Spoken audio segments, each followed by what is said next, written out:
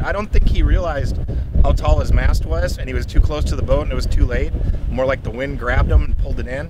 But like I said, when we were up in the anchor room, uh, we were just in the forward port. My kids were looking out the window and saying, "Hey, Dad, there's a big boat coming at us."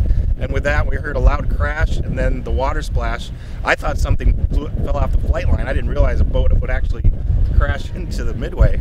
Definitely was an exciting day on the tour on the Midway. It's first time coming here, and uh.